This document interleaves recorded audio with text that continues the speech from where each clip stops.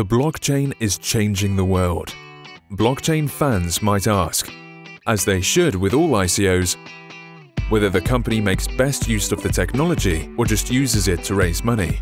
That's why we created this video to explain how eCharge uses the blockchain and why. Currently, there's almost no e-charging infrastructure, so few consumers buy electric cars.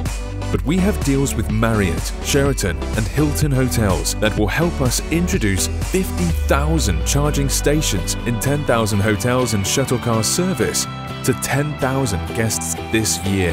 This will let electric car users charge their cars wherever they go. But more than that, with eCharge, an electric car is no longer just a car, it's a battery on wheels.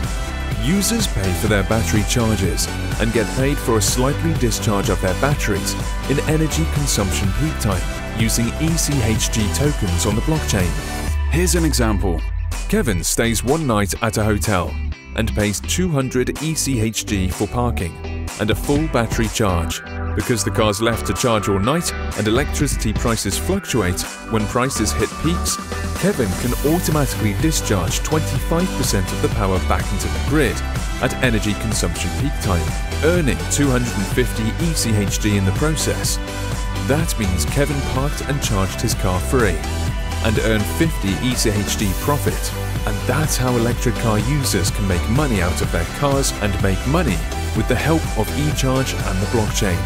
To invest in the eCharge ICO, visit echarge.io now and click Buy Tokens.